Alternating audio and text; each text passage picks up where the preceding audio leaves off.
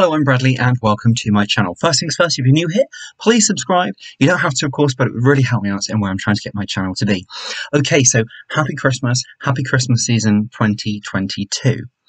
I want to talk to you about uh, something huge, which we have been getting a lot of hype about this year, and of course, post um, post sort of COVID, all of the lockdowns and things, it's talked about a lot more, which is fantastic. But yet, actually, when we try to put ourselves in that situation, we're not necessarily so good at it. So it's our well-being, it's our mental health, good mental health. Now, of course, it's Christmas. Let's gift our well-being too. Now, what do I mean by that?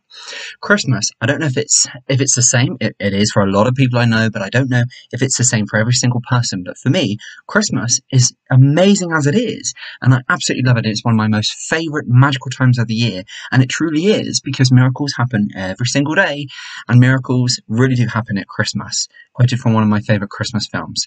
But of course, all of that magic and putting that together really does take a lot of time. It takes a lot of time, it takes a lot of patience, it takes a lot of hard work, and a little bit of magic to be able to make sure that everything is absolutely ticked off and perfect so you can have the most amazing magical Christmas with your friends, your loved ones, and of course, those dear, dear figures in our lives, which is just so beautiful how Christmas manages to frame family and really pull on those bonds and that true love and everybody magical and everybody really, really just amazing around the tree, around that lovely family Christmas.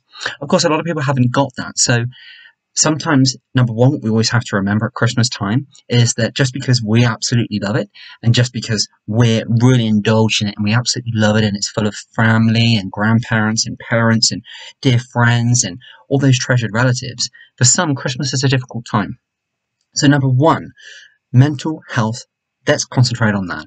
Good well-being. Let's concentrate on that and we will revisit the other one back in just a moment.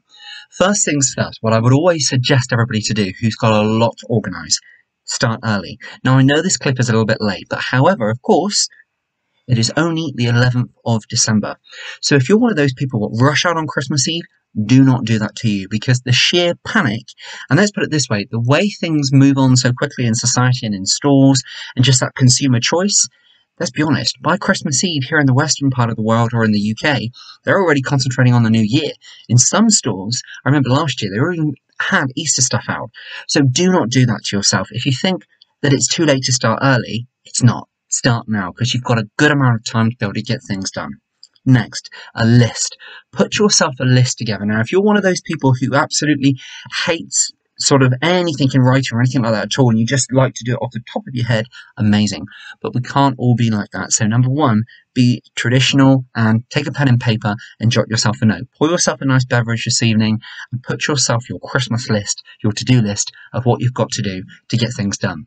Write people's names down. Perhaps write some gift ideas. So when you go into a store, number one, you're also looking after your budget because, of course, this year has been financially squeezed for all of us, especially here in the UK. I know America and the Western world and all of that part of uh, the whole globe, um, with pressures of cost, cost of living increase and one thing and another so really do look after your budget, look after those pennies, and the pounds look after themselves.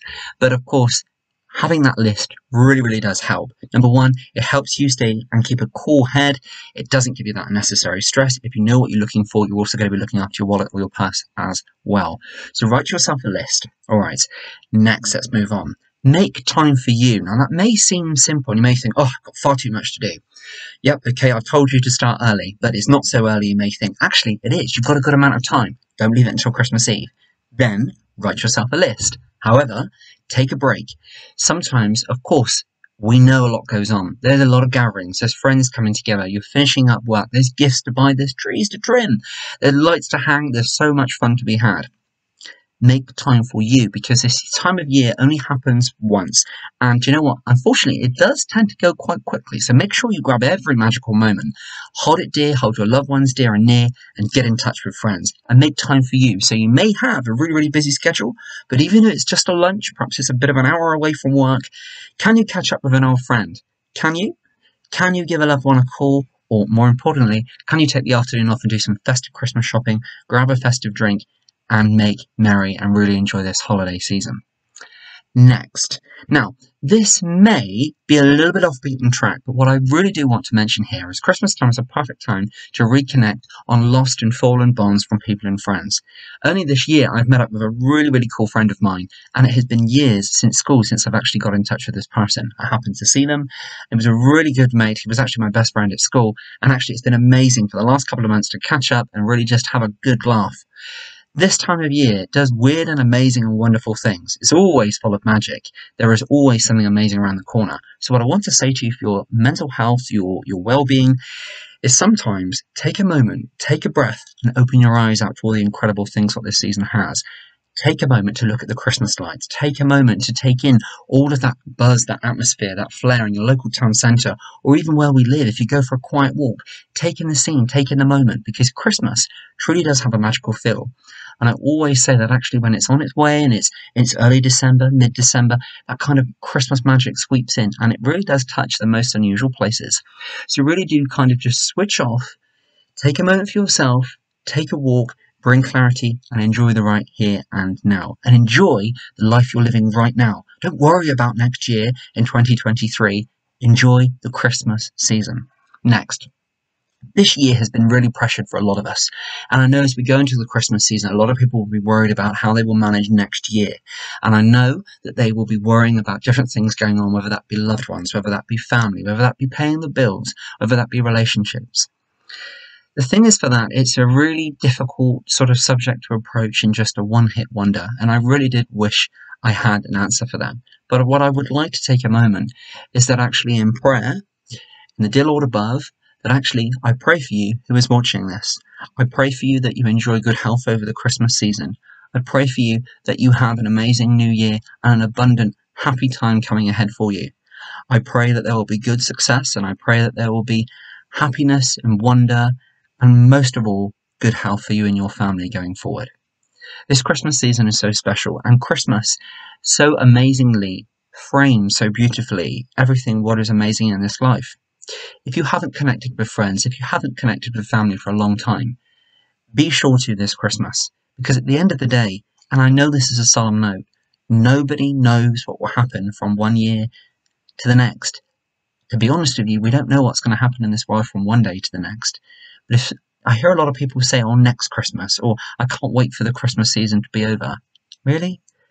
I know a lot of people have different things, and of course, a lot of bad memories sometimes associated, and of course, grief with Christmas. This is the second Christmas without my dear Nan, who is my world, and I absolutely adore her and love her so much. But as I recently watched a Christmas film, that actually we never lose anybody. If we hold them with love in our heart, they'll always be there forever. So I know she would want me to enjoy this Christmas season. So if you're going through grief, my heart goes out to you. Try to hold on to the magic of this time of the year and think of that person with a love and with a smile, and they'll always be with you deep in your heart. Christmas is a most magical, wonderful time of the year. Make sure you be kind to yourself.